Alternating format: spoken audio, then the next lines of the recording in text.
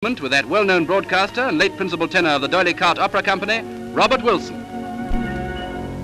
There's an old-fashioned house in an old-fashioned street in a quaint little old-fashioned town.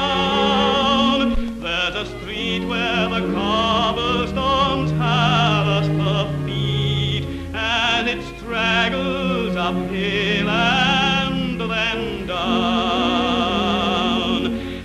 And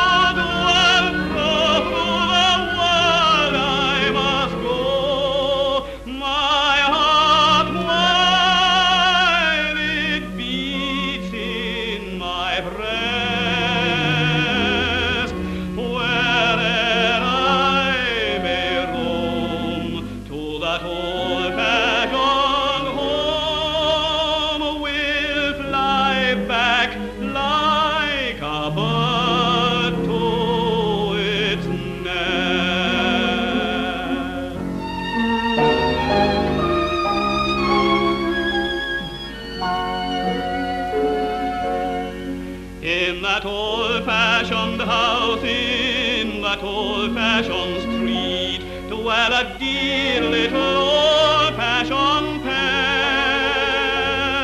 I can see their two faces so tender and sweet, and I love every wrinkle that's there.